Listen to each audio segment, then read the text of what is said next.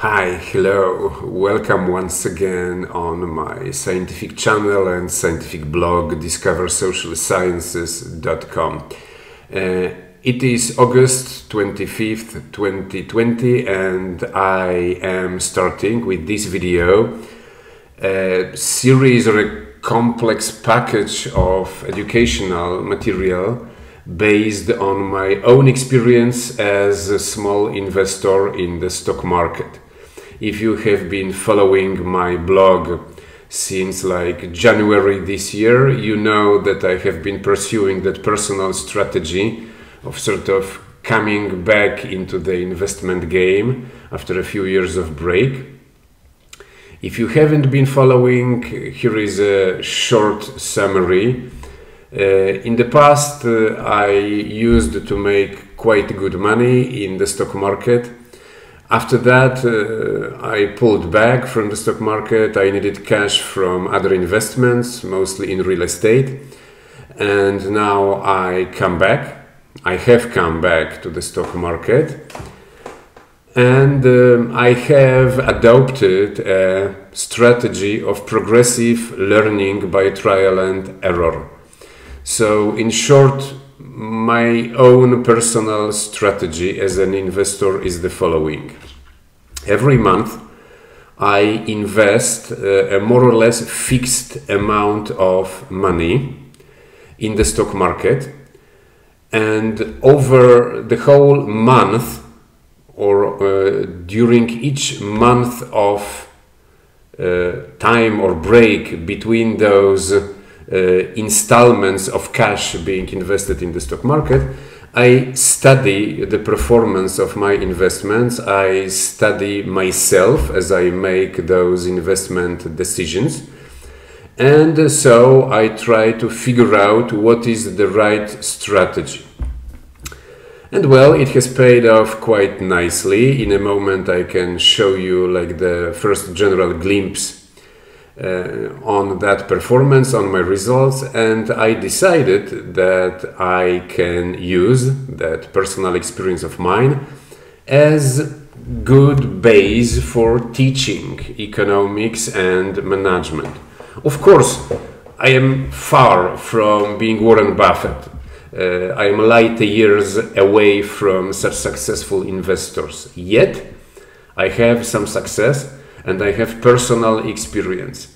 And my own uh, opinion, or I am deeply convinced, I can say that I am deeply convinced that whatever story I am telling to my students, at the end of the day, at the bottom line, I always tell the story of my own existence.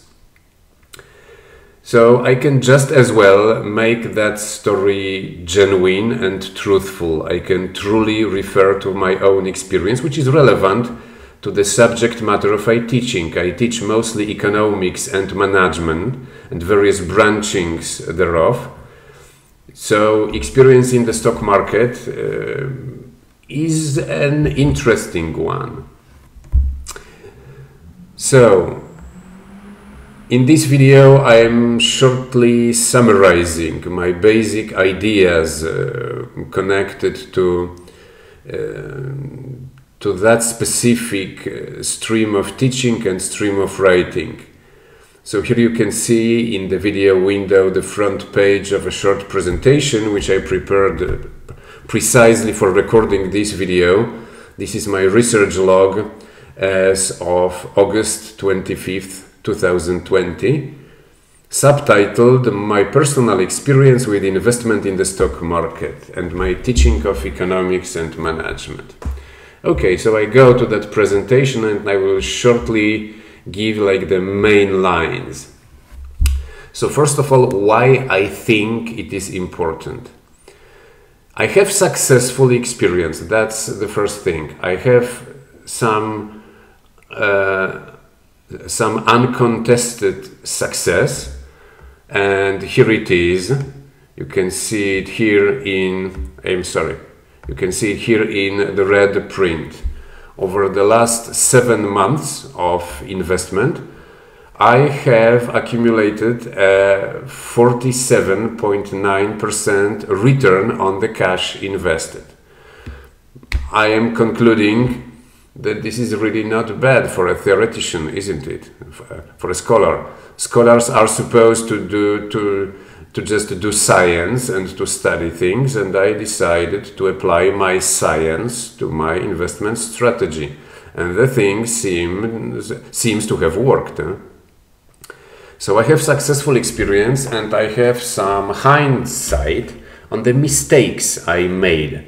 Now from the perspective of time as I look back I can see what brought me good return, what was like a sound investment decision, and what was obviously a mistake, with those interesting cases in between, which technically, in strictly financial terms, are failures. I have some of them, but they have some promising shade. And in my teaching, based on my investment experience, I can sort of dive into that interesting shade and explore it. So the facts are that since January this year, uh, I have invested almost $8,000 in the stock market and today uh, and today is August 25th, 2020, my investment portfolio is worth Uh, $11,719.91 whence that rate of return of almost 48%. I think that personal experience is impossible to bypass in any true teaching. I love feeling that I am good a teacher. Maybe it is narcissistic from my part, yet I love the feeling. And uh, I am proud when I can see that I have delivered good teaching to my students. This is why I want to sort of dive head first into a slightly different way of teaching and to try to use my experience. So, what exactly I think I can teach my students through and on the grounds of that specific experience as a small investor in the stock market? First of all, I have experienced, like in true flesh, important economic decisions. For example, I have discovered that when I make financial decisions in the stock market, emotions play a huge role. Controlling and acknowledging the emotions, which by the way are very strong, unexpectedly strong, acknowledging and controlling those emotions when I move my money around is capital for making informed decisions. So I experienced those emotions, I experienced the cognitive bias that those emotions uh, involve and induce. Like, really, it is uh, like an experience of tunnel vision just uh, applied to, uh, to financial placements and to financial investments. I have made a lot of mistakes and I have achieved some successes, which I like documented with numbers. I have a nicely positive bottom line, so it is like um, um, good grounds to develop interesting insights into the basics of business strategies. And finally, uh, due to the specific context of uh, 2020. So, the pandemic, then the social unrest in the United States. Um, I have experienced the practical impact of macroeconomic environment upon my microeconomic investment strategy. In, and over those last seven months, I have acquired uh, much more acute experience or much more acute feeling of connection between that microeconomic and macroeconomic realm uh, much more acute as compared to what I had in my head like one year ago.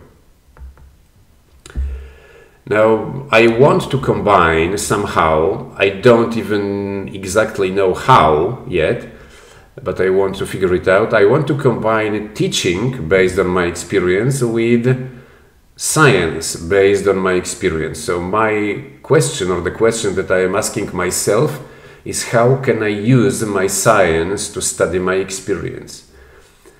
Uh, now, to be completely honest, that nice gain I have in the stock market, those almost 48% earned over uh, seven months, it is it, it has like two big sources. I mostly earn the money directly on or indirectly on like big economic waves associated with the COVID-19 pandemic. Yes, I made money on the pandemic. Just as cruel, just as brutal as it can seem, I earned money on the pandemic. I think it is an interesting experience which I can break down, which I can share, and which I can study. Secondly, I made money on the technological shift towards renewable sources of energy. And my own experience as a small investor proves that, uh, contrarily to what many environmental activists claim, our economy really moves towards renewable energies. It is a fact. And I have some interesting failures in my portfolio, such as my positions in General Electric, Medtronic, Volkswagen, and a company called Urban Edge Properties and my like barely outlined idea is that I can study those failures uh, on the one hand in the spirit of the so-called black swan theory and secondly on the other hand in the spirit of my main thread of research which is research on intelligent collective adaptation. So that would be all in this short video, which is introducing essentially that path of teaching and research based on my experience in the stock market. And well, as usually, in uh, by the end of each video, I wish you uh, a nice day, that nice Tuesday, August the 25th and I wish you can have fun with science. Bye.